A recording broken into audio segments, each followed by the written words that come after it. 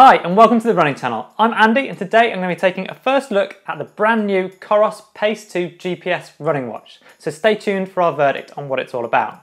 But in the meantime, if you're not a subscriber already, please do hit subscribe to support the channel in what we're trying to do, bringing you free videos every week and tap the bell icon to be notified when we do. Let's crack on. Firstly, all of the opinions that you're about to hear are my own and we're not paid by Coros in any way to say nice things about their products. So let's jump in and tell you why we're reviewing this particular watch. Well, it's brand new, it's just been launched, but more importantly, it's also been billed as the lightest GPS sports watch that you can buy at the time of launch. In fact, with the nylon band, the Coros Pace 2 weighs in at only 29 grams. Now I've got the silicon band version here, but that's also incredibly light.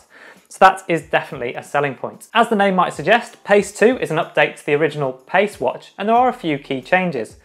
To make it lighter, this is smaller, so it's 42 millimeters instead of 46 millimeters in the original Pace. And another key change that instead of four buttons, there's now only two, one of which is Coros's scroll wheel, which allows you to navigate through the various menus. The Pace 2 is priced at $199.99 or £179.99 retail price. And that price point and the features aims it squarely at the Garmin 45, the Garmin 245, maybe even the Suunto 5 and the Polar Ignite as well. It has a 42mm case containing a 1.2 inch screen. Yes, they give us the screen size in inches and the bezel size in millimeters, I'm sorry. And that has a pixel resolution of 240 pixels by 240 pixels. That's almost identical to the Garmin 245. It has a 30 hour true GPS battery life that's quoted, which you can extend to 60 hours if you use the Ultramax GPS mode. That puts it firmly in the Polar Vantage M territory in terms of that 30 hour battery life. And that's a more expensive watch, about $80 more. And that 30 hours is more than all of those other watches I mentioned in terms of competitors at this price point. Coros also quotes a 20 day regular use battery life. So that's using constant heart rate monitoring, monitoring your sleep, the backlight coming on and off, receiving notifications and so on. So essentially regular normal use. And again, that 20 day battery life in regular use is quite a bit longer than the five to seven days quoted for most of the models also at this price point. Before I take you through all of the different menu screens, what it's like in use, how it performs on a run and ultimately give you a verdict, one last feature to touch on is that for running on a track. So Coros say they have a one-of-a-kind, first-of-its-kind algorithm which makes for more accurate data capture on the track. You simply put the lane in that you're running in and then the watch does the rest. So that's a really interesting feature, but now let's dive in and take a look at what the watch is actually like to use. Okay, so let's head out and put the Coros Pace 2 through its paces on a run. First impression straight out the door, picked up the GPS signal and my heart rate really quickly. I've got going, I can barely feel it, it is incredibly light, so that's quite a nice feeling. Next thing to notice is that the display is really easy to read. The contrast is good, I can see all of the main fields really clearly. I'm not having any problems reading the display, so that's great. Two buttons to keep it nice and simple on your run. The bottom right one is a nice responsive lap button, which is great. It also serves as the back button when you're navigating menus. Then there's the Coros digital dial, which is the scroll wheel, which also has a button that you can depress at its center to start and stop runs and so on, and select menu items. That one takes a bit more getting used to, and I'm actually finding it a little bit fiddly whilst I'm out on a run. Locating it's easy enough, but then actually scrolling it, there seems to be a little bit of resistance. Perhaps it's getting slightly stuck against my skin as a, a bony bit of my wrist that rests quite close to where that button is. So just taking a little bit of getting used to. Just finishing off now and I guess the good thing to report is that I haven't really noticed the watch other than when I've been deliberately looking at it. It doesn't move around relative to my wrist because it's so light. It's a nice snug fit. Yeah, all good.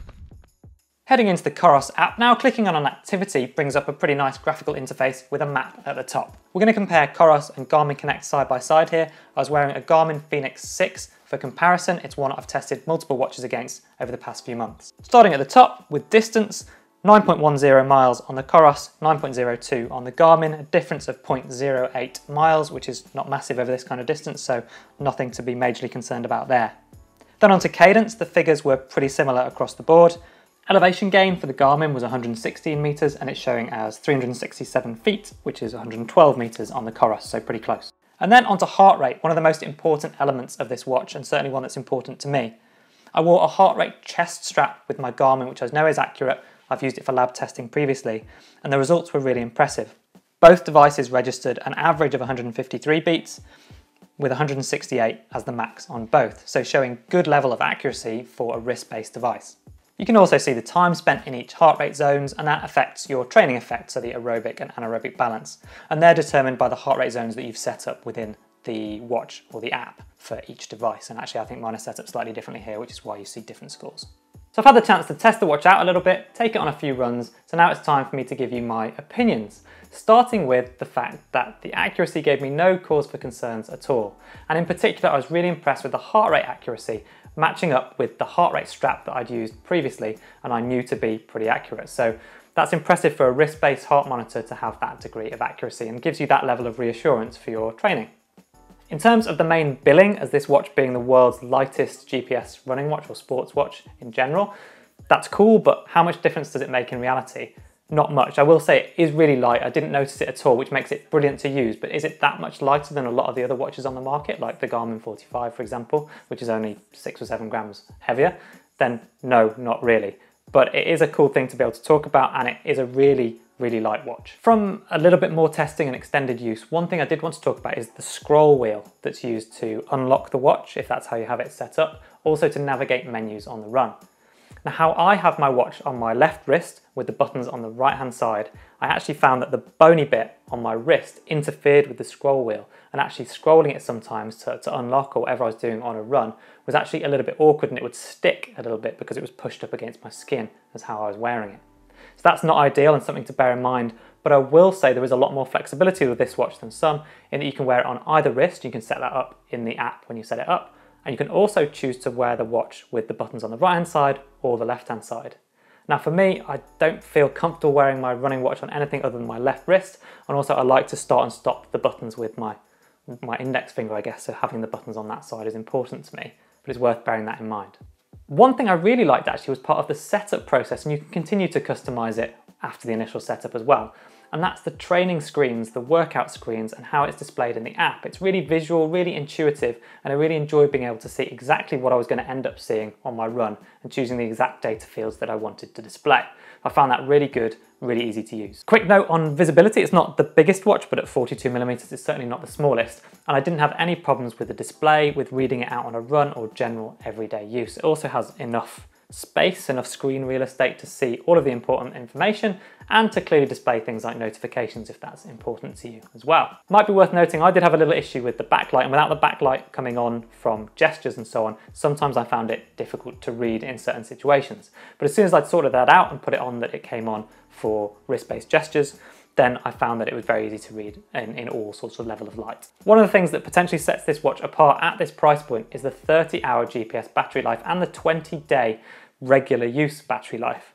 I haven't had to charge this watch, I've used it for a few runs over the course of more than a week uh, and haven't seen a massive dent in the battery life, so I have no reason to expect that those figures aren't at least close to being accurate. So if ultimately battery life is a big thing, and it is for most of us, we don't want to spend our whole life charging our accessories when we should be wearing them, particularly if we're using them for sleep or regular life heart rate tracking then this could be a good option. In fact, it says that it fully charges in two hours as well as a maximum charge time. Now, whilst $199 or 179 pounds is a significant investment for a lot of people, it's definitely not a top of the range, really high end, really expensive GPS running watch. So there are particular features that you don't get at this price point, music being one of them. Similarly, you don't get any navigation. In fact, you'd be looking for something like the Suunto 5 for breadcrumb navigation, the Garmin 245 for navigation, or the Polar Vantage M, which has back to start navigation, but those are all slightly more expensive watches. This watch does support multi-sport, so you have lots of different options for different types of workouts and how you set up those customized workout screens, but it doesn't have mountain-based sports activities, so skiing, trail running, and so on, but that's probably not a huge issue for a lot of people. It's also pretty good value in terms of the data that you can get from the watch and the algorithms that it uses. So you get various advanced running metrics like left, right balance and running power. You get VO2 max, training effect, training load, then also your recovery time or suggested recovery, which is really useful to know. It also has the option to do structured workouts and strength training in addition to, I guess, what you might perceive as the regular functions of a GPS watch in terms of run, swim, cycle, and so on. So if you're looking for something around this price point, under $200 or £180, you're looking for something lightweight with long battery life that packs relatively good value into a pretty small package, then this is definitely worth considering.